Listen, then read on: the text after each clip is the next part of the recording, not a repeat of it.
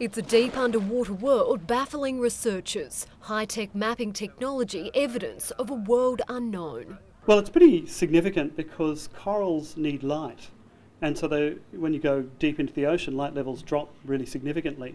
The Catlin Seaview Survey team on a voyage to record reefs threatened by climate change, stumbling across corals living 125 metres below the ocean's surface.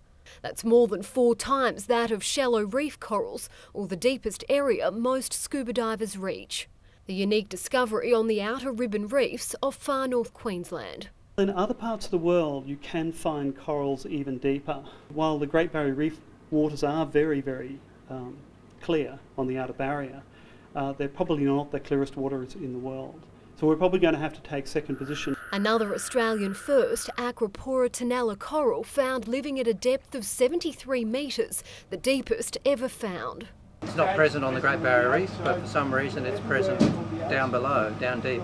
Samples taken for testing, hoping to explain how they survive where sunlight is so scarce. At one level, there's ocean acidification, which is increasingly affecting reefs around the world. On the other, they may have some protection against storms. What lies beneath, still really a mystery. Kirsty Johansson, Win News.